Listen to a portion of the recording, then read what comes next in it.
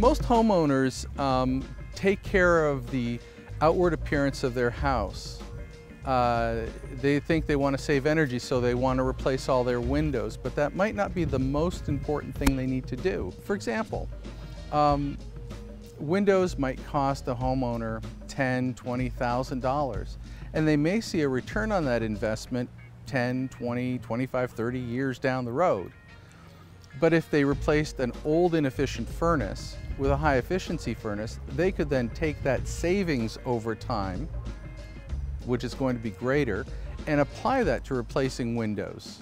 Uh, whether they do it a couple at a time, all of them at once, is up to them. But this helps give them a picture of what the most important things to do are that will give them the best return on their investment and uh, the savings that they get back can be applied to other things. And so when I come back and I say, your house went from this and they're saving, you know, 40, 50% on their energy bills, um, watching their faces light up and, oh, wow, that's great. And then you tell them how much money they're getting back and that's even better. Uh, so it's, it's, that's the response that people often give.